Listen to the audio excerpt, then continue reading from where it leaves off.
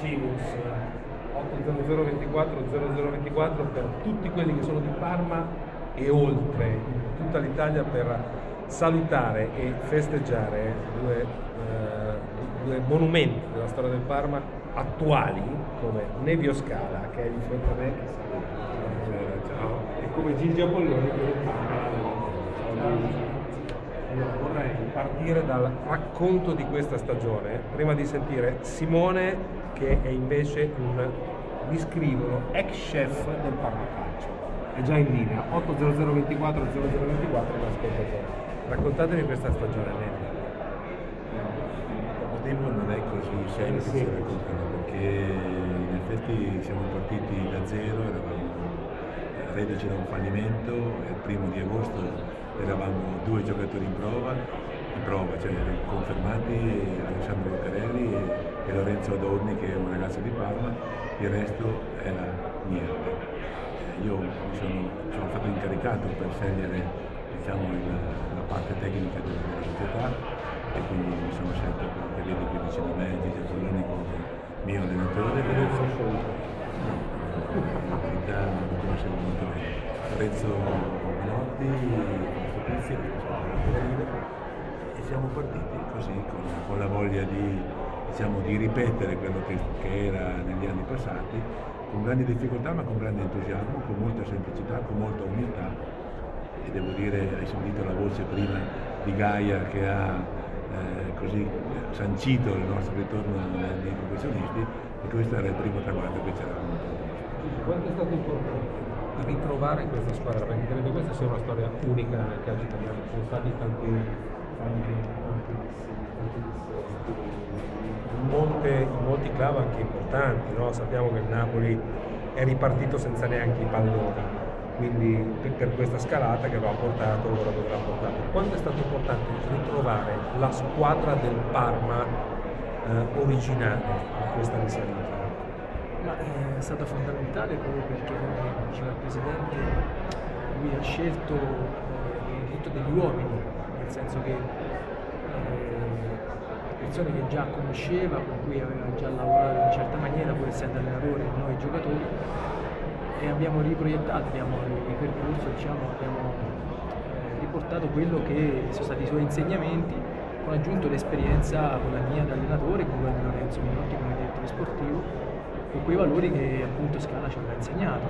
Eh, devo dire che non è stato tutto facile, però chiaramente abbiamo superato quelle difficoltà, non tante proprio le difficoltà, proprio attraverso quella, quell'unità, quell'intento aver, rialzato anche, aver fatto rialzare anche la testa una città come Parma che ha subito una ferita molto grossa, non soltanto a livello calcistico ma anche come città, una divisione molto forte e, e quell'orgoglio, quella, quella, rabbia anche, quell'orgoglio che la città aveva ce l'ha trasmesso attraverso i suoi tifosi, attraverso le persone che amavano Parma e che hanno comunque amato il Parma di Medio Scala dove abbiamo raggiunto obiettivi impensabili in poco tempo, in brevissimo tempo, abbiamo fatto quello che non ha mai fatto una squadra di calcio.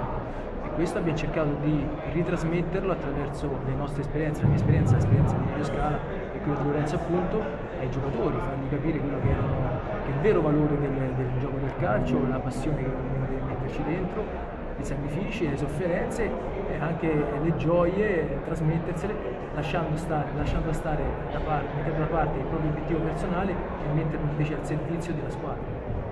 Nello sport italiano, non solo nel calcio, è successo molte volte, anche nella pallacanestro ad esempio, quindi società eh, che hanno avuto una traiettoria molto simile a quella del Parma, l'ultima che mi rimette a Siena. Eh, eppure proprio lì, nel momento più difficile, nel momento più basso, trovi l'affetto della tua gente.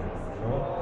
Perché eh, cosa, eh, cosa, ha rappresentato Parma in questa stagione per voi? Il pubblico di Parma, cosa ha rappresentato?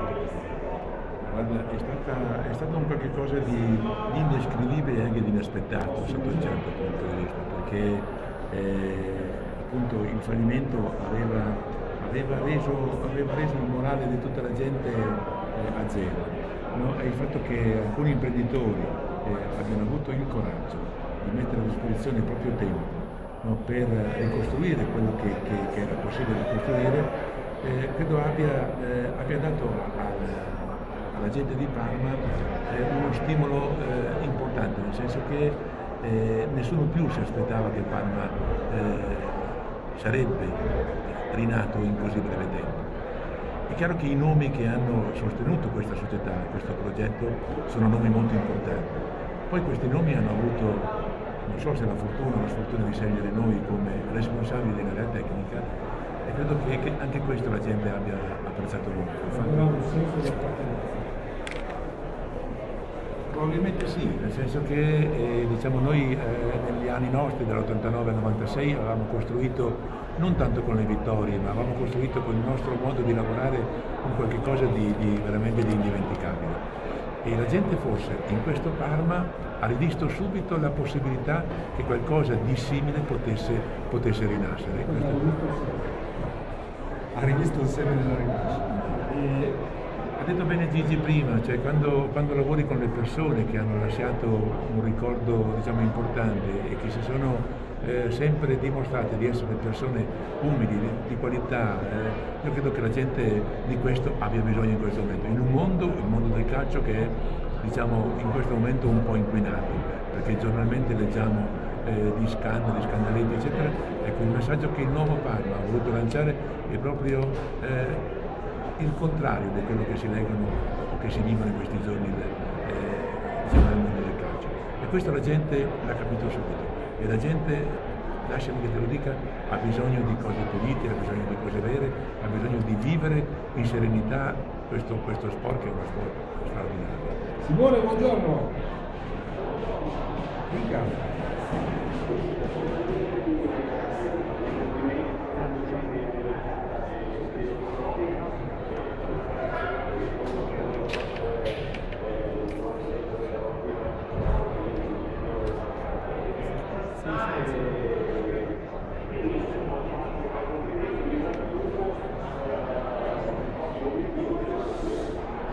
certo, ça va servire, no? È ovvio. Adesso eh, gra, per, grado per grado, scalino per scalino, si punta. Cosa mangiava Gigi Apolloni? Qual era il suo piatto preferito?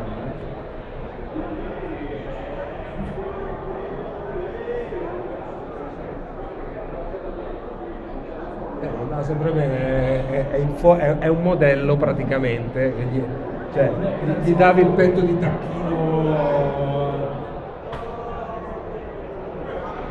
No, eh?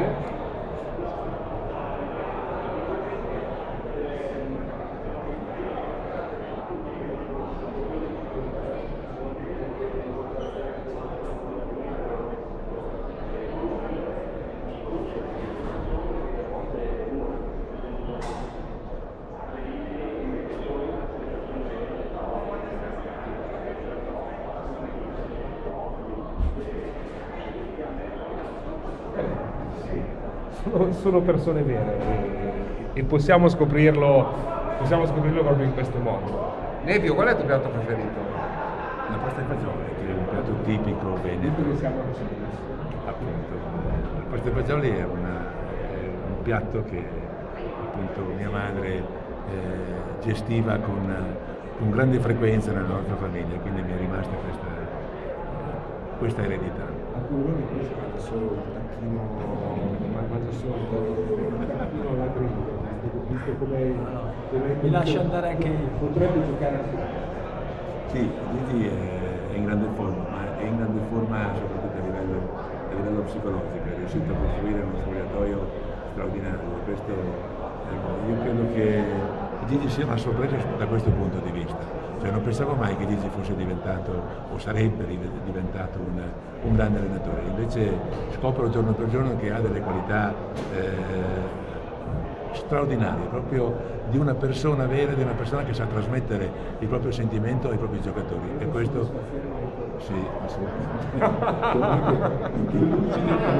per l'attenzione, perché, perché tu non puoi immaginare quello che ho provato e quello che ho provato quest'anno eh, nel seguire il percorso di Gigi, cioè nel senso che eravamo tutti sotto esame, era, un, era e si è verificato un anno molto difficile perché le aspettative erano, erano tantissime e il fatto di, eh, di essere riusciti appunto con il lavoro di Gigi a, a finire il campionato imbattuti credo sia un traguardo unico in Europa. Io faccio prevedere altre ascoltatori. 80024 0024 per sapere questo quotidiano. Mirko, buongiorno. Sì?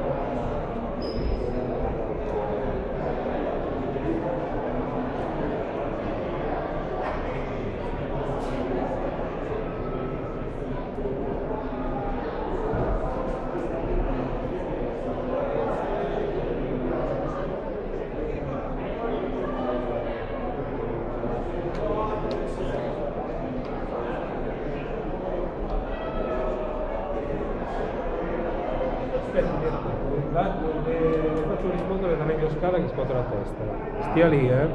Mirko, eh, a me dispiace che, che tu la pensi così, perché non è assolutamente la verità. Noi siamo partiti con un budget molto limitato, con un budget che avevamo stabilito all'inizio ed è un budget che eh, diciamo, eh, equi- si equivale a molte altre squadre del nostro girone.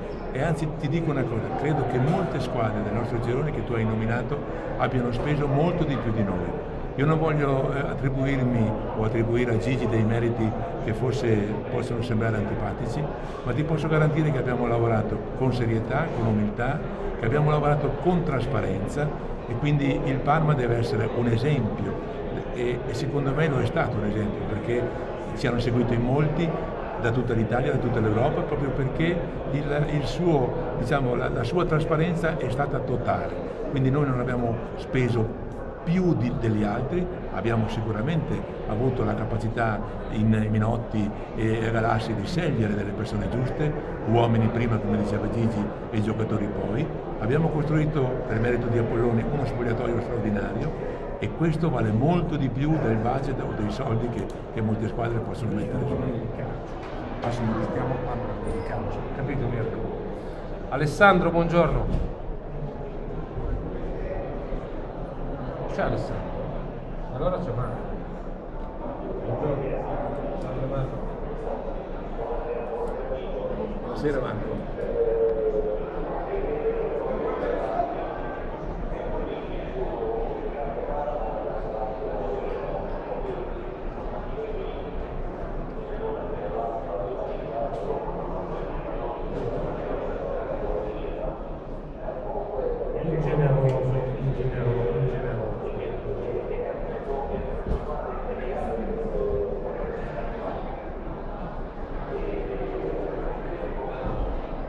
rinviando la domanda sul futuro. Ho, ho, ancora sei minuti di trasmissione per porre la domanda sul futuro del Parma, ma mm, Marco mi ha preso, Marco da Roma mi ha preso. Bene, io, eh, io credo che, che, Marco abbia vissuto con noi quel, quel grandissimo periodo e poi finito in maniera sfortunata sia per la Lazio che, che per noi. Però ecco, io, io credo che eh, al di là delle cose che lui ha detto ingenerosamente nei confronti del suo presidente, eh, che io stimo, eh, assolutamente, che io stimo, che è un presidente vulcanico, ma che è un presidente che, che sicur- sicuramente vede nel mondo del calcio qualcosa che, che deve cambiare. Eh, ecco, io credo che il suo augurio sia veramente qualcosa che ci stimola, perché il Parma del 96, eh, dell'89-96 è stato un Parma eh, forse irrepetibile, però ecco, questo Parma ora sta cominciando con lo stesso stimolo, con, stessa, con la stessa voglia e io siccome non, non sono avvezzo a fare, a fare, promesse, io dico però che, che molto presto ritorneremo a combattere con la sua Lazio eh, all'Olimpico di Roma. Senti Nemi, posso farti un rispetto? Allora, pubblicamente davanti a tutta la, la platea radiofonica italiana chiedo a Gigi Apolloni di fare delle richieste al Presidente per l'anno prossimo, così mettiamo nei due scale in grandissimo. Cosa vuoi Cosa ti serve? A me serve il, l'affetto, no, no, il federalismo sto dicendo.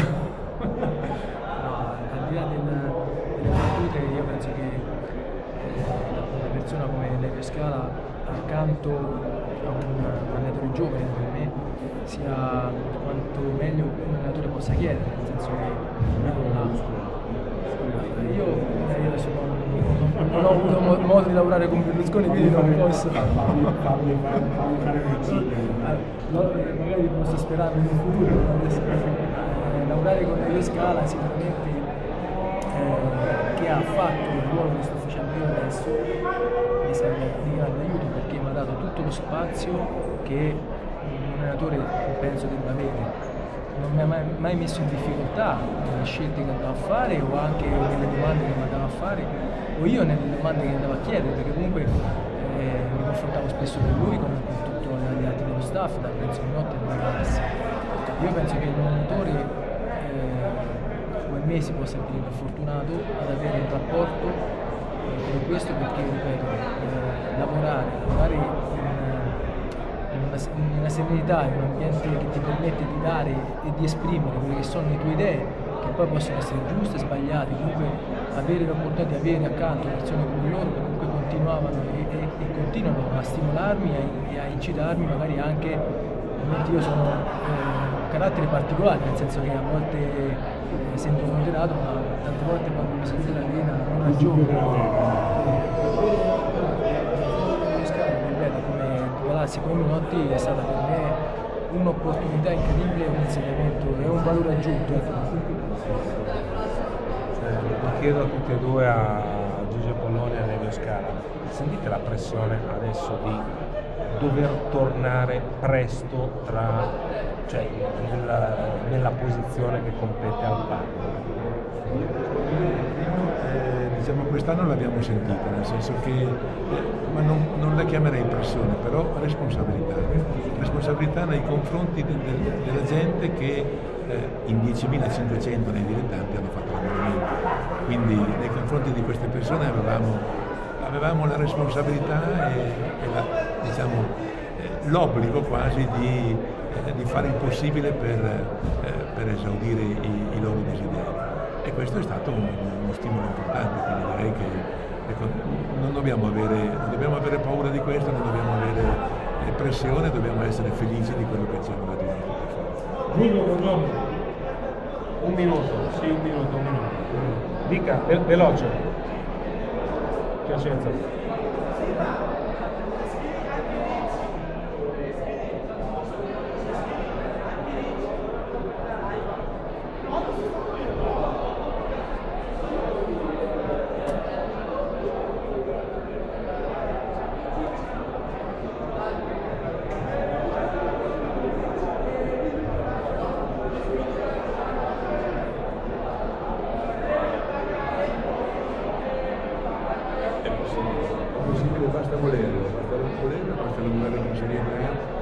Trasparenza come abbiamo cercato di fare noi quest'anno. Quindi auguro a te e alla tua squadra veramente un grande successo e auguriamoci insieme di vederci fra qualche anno combattere in uno stadio di Serie A. Grazie alla squadra, grazie Cecilia Pollone, grazie a Cibus che ci ha ospitato oggi, mi ha ospitato oggi tutti i convocati tutto il personale di, di, Radio 24 che è stato qui. Ragazzi, ci vediamo domani alle 2. Ciao a tutti. Ale, io scappo. Ciao, a domani. Ciao.